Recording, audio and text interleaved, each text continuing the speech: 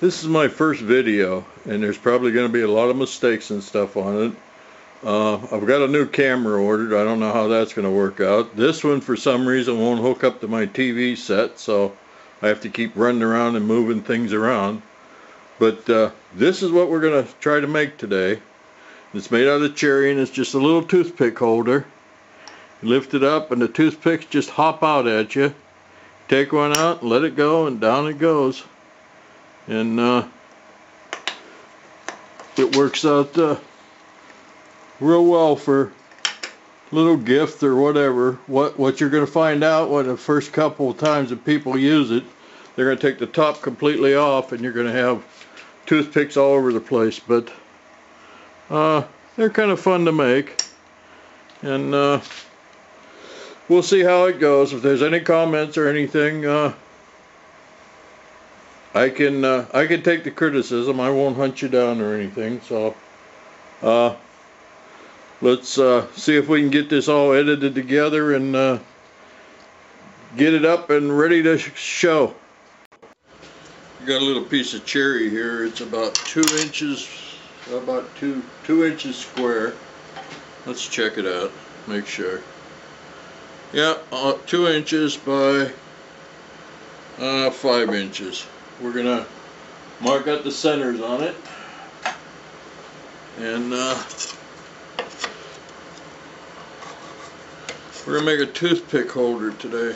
So let's see how we come out here.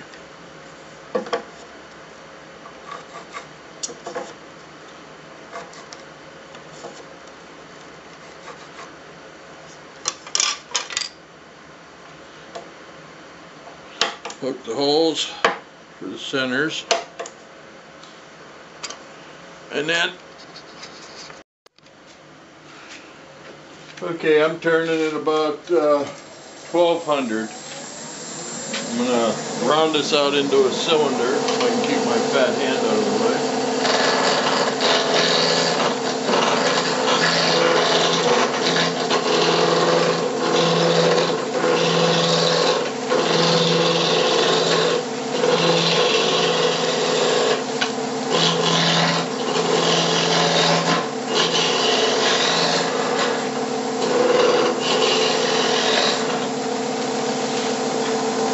Okay, remember always turn your lathe off before you move your tool rest.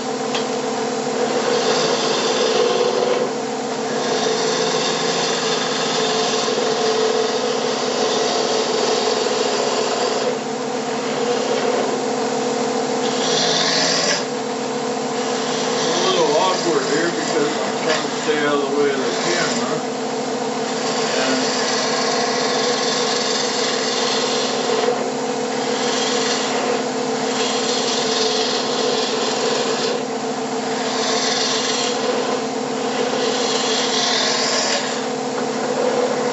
There we go, we're pretty well. So,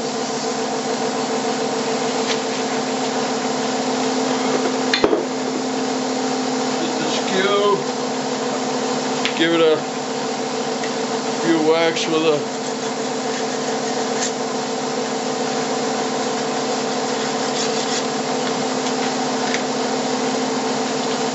round it out, get it nice and smooth.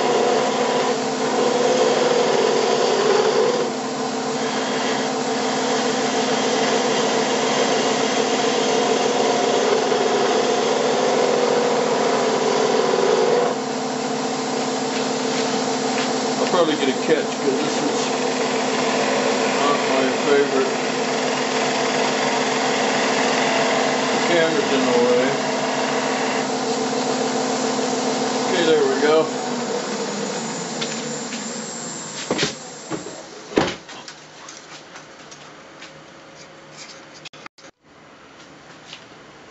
All right, now we're going to put some uh, tenons on the end so that we can uh, chuck each piece up in the vise. We're going to make a top and bottom. So I just usually take my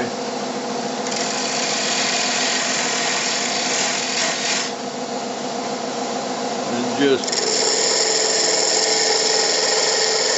square it up a bit. Then I have a skew sharpened just for this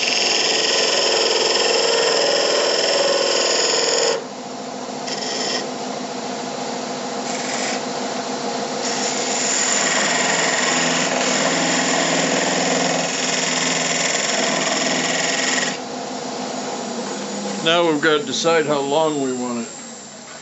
I think I'll run over here and get a toothpick. Ha ha. Aha. Let's see. Here's one.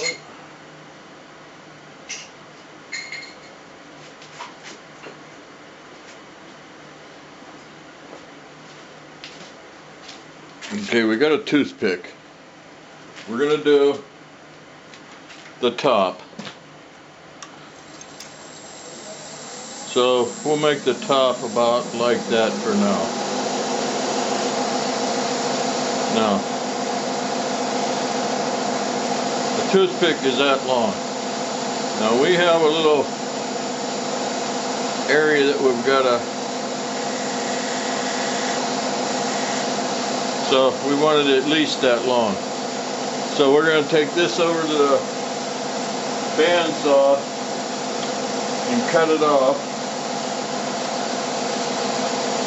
And then we'll do the top first.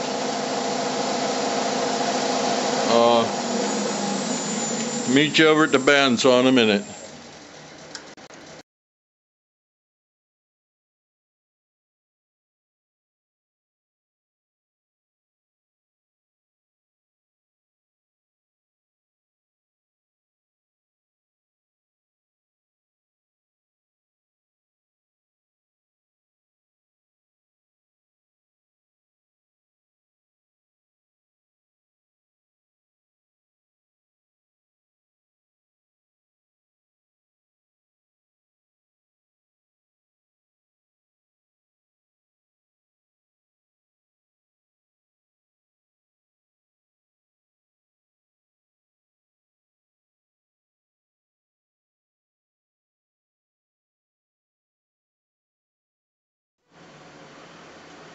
Okay, before we do any cutting on the bandsaw, I want to show you a little uh, jig I made up to cut round items.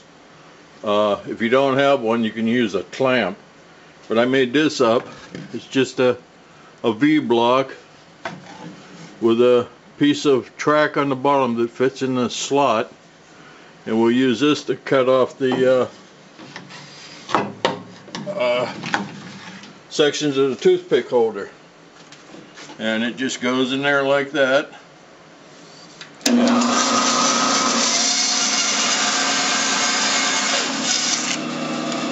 And that's that we're all done cutting that off. We'll go back to the lathe and chuck it up and get ready to go.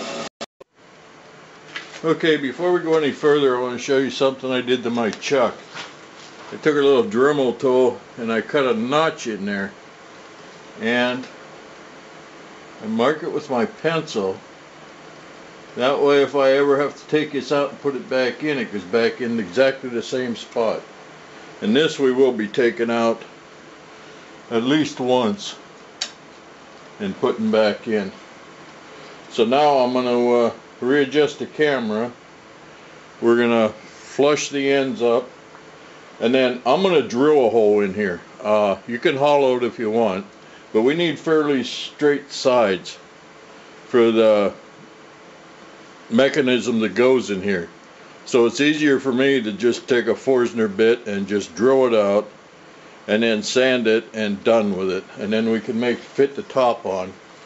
And uh, let me move the camera and we'll uh, get started further.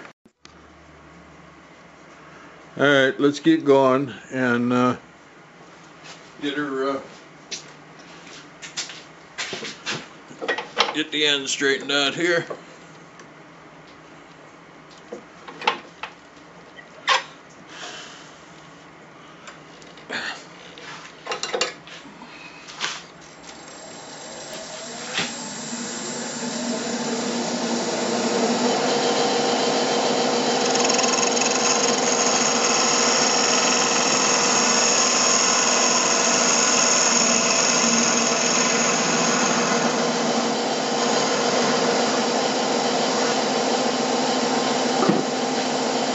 Going to slow it down. And I decided on inching 3 8 Forstner bit. So we'll drill her down to the depth. And uh,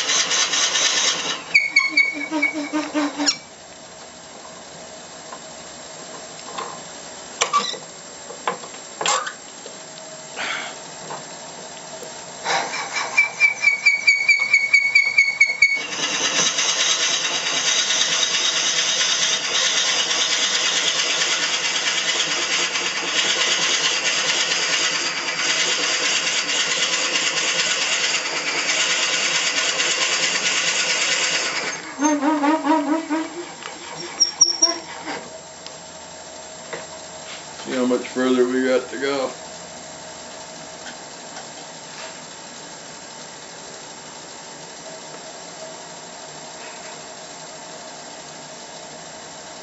Yeah, we have to go down to the chuck. So, here we go again.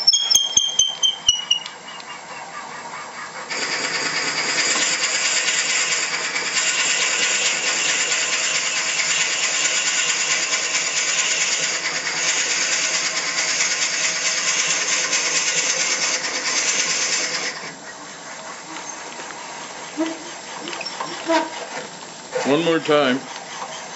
That should be it.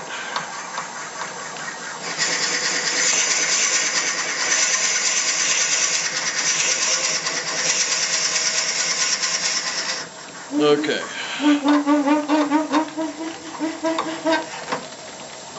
Alright, that's that for now. Ah. Let me uh, turn this off. We're going to do a sanding on the interior a little bit. A little note about sanding.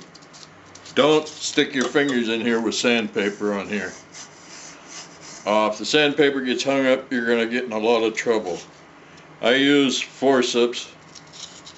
Just flip the sandpaper on there and don't put your fingers in there. Hold it like this in case it grabs. Go ahead, turn it on. Get it in there. Get your sanding done. I started out with 220. I'll go to 320, 400. Then I'll put a friction polish on the inside and I'm done with it. I'm not going to bore you with sanding. We'll just move on to uh, fitting the lid on here in a minute. I'll get the sanding done and uh, be back and we'll fit the lid. Okay, I finished sanding it and uh, did a quick friction polish on the inside. Now let's put the top on and fit the top to the bottom and uh, move on from there.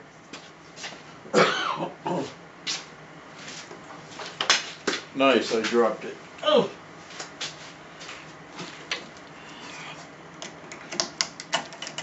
We'll set this over here. This goes in here.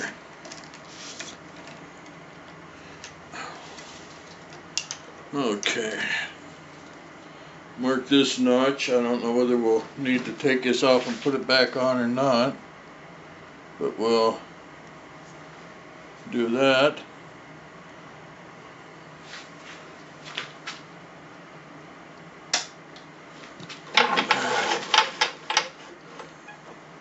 Let's get the bottom straightened out.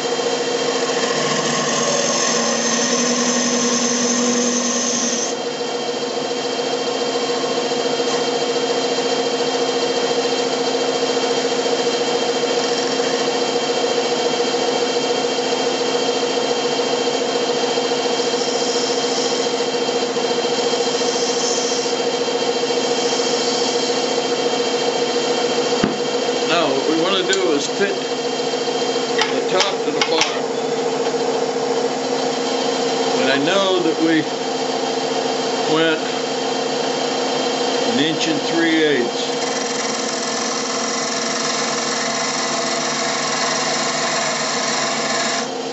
We want a pretty loose fit.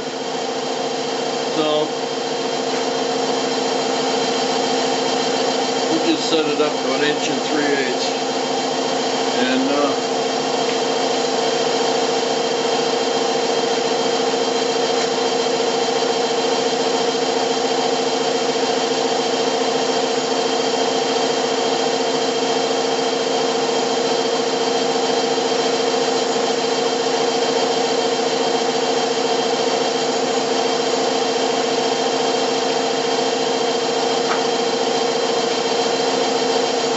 that was a waste of camera time. So I was off getting this set up.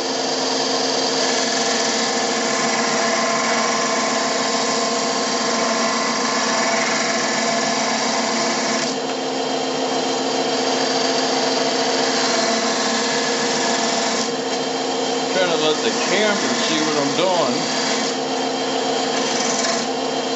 And I end up causing trouble for me. So,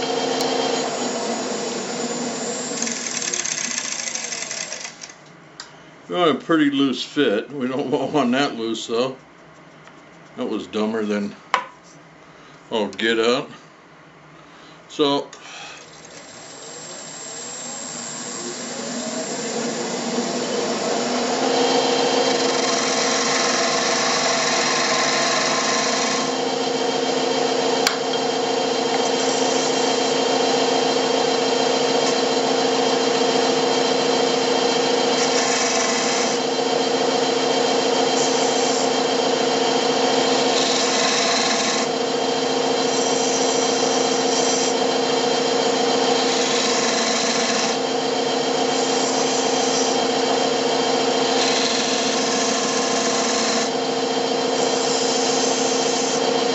Okay, we're getting close now.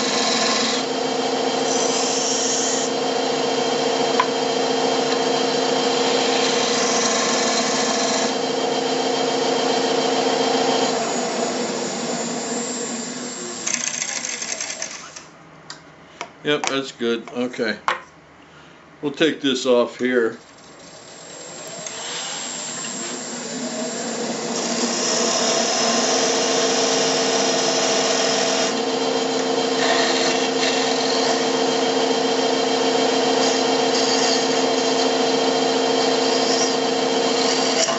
Oh, catch.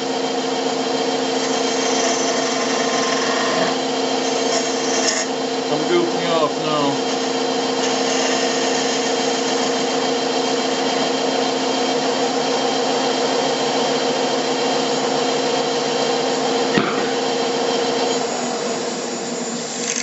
Making a mess out of it now. Wow. Really screwed that one up, didn't I? That's what I get for trying to hurry. Let's get her all straightened out and fix it.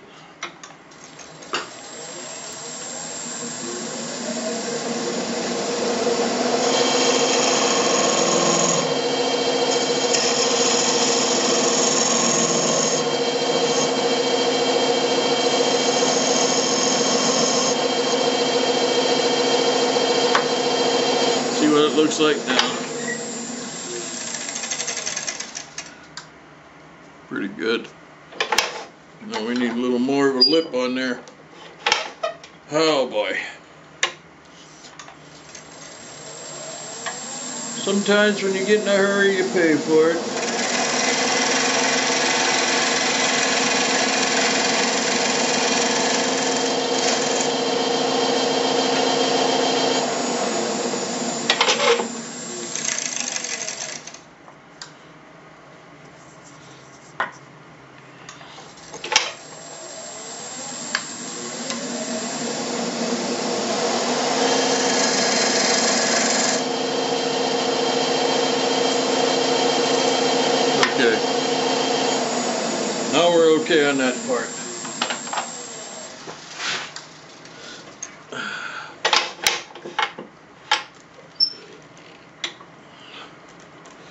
Yeah,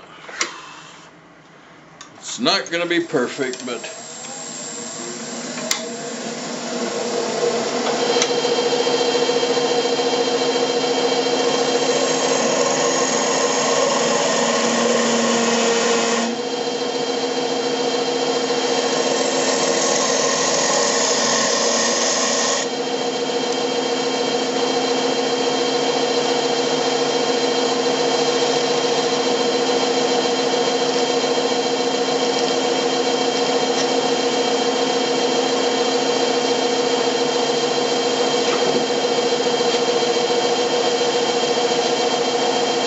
Now we're gonna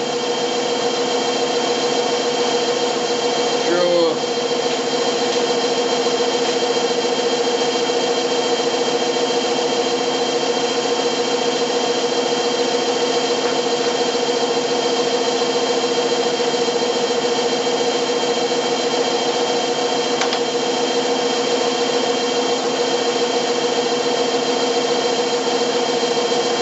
drill a quarter inch hole in the top now. We can go straight through because we're going to put on the top of the contrasting wood. So, and I'm lazy, so I'm just to do it that way. It's just a drill chuck that I made a handle for. And uh, it's neat for making little holes like that.